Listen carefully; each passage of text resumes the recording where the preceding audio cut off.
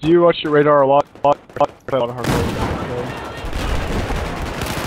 Hardcore now.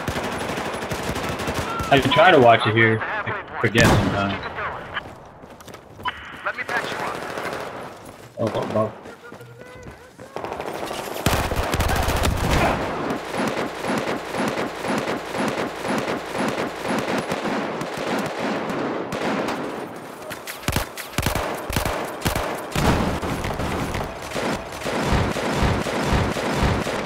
oh. I, oh, I hit that guy like 10 times.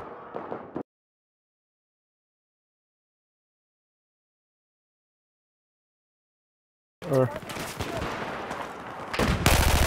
I'm down. Oh, the guy in the blue container got me. Uh, he's hiding in it. No, he's, he's, he's just sitting. No, get grabbed! I'm gonna die. I'm bleeding. Oh, your body. Yeah.